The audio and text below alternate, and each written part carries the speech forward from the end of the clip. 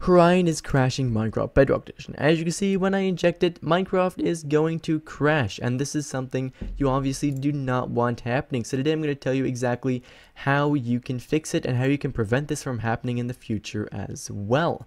Anyways, why is Horion crashing? Well, we'll see that when Minecraft starts up. As you can see in the bottom right hand side over here, it says 1.20.30. Now this version has just come out, and Horion is made for earlier versions of Minecraft. Currently, the latest version it supports is 1.20.15, and every time Minecraft updates, Horion needs to do so as well, which means that Horion will only work for 1.20.30 once, um, you know, well, it updates. And when do you know when it updates? Well, I make a video the second that Horion updates on this channel. So I greatly urge you to subscribe. However, of course, I do have other fixes as well. Um, also, Apart from subscribing, you could also um, join my Discord server as you'll get pinged there because the videos do have about a 30 minute delay after Horion updates, of course, because I need to make them. And on Discord, you'll get pinged the second it um it actually updates. I promise I will link both of my servers down in the description. I'd greatly appreciate it if you joined those.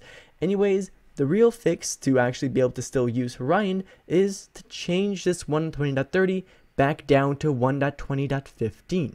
And now for Minecraft Java Edition, it is really easy to go back versions. However, for Minecraft Bedrock Edition, this is kind of kind of works more uh, uh, slightly differently, and it's not really common to do so. However, I actually have a tutorial on how you can downgrade Minecraft Bedrock Edition really simply for free, everything like that. And what that'll allow you to do is that'll allow you to use Horion for whatever version you want. In this case, 1.20.10 to 1.20.15 are the supported versions. Anyways, basically, I don't have much more to say than that. Quick summary, Horion is crashing because Minecraft updated and Horion needs to update as well. Subscribe to this channel and join my Discord to get notified the second that Horion actually updates to 1.20.30 and in the meantime I've got a tutorial for you guys linked down in the description on exactly how you can go back in time, basically, and um, use a version that Horion does currently support. Anyways, for right now, that was basically it. Thank you ever so much for watching, and I hope to see you again in the next one. Bye-bye.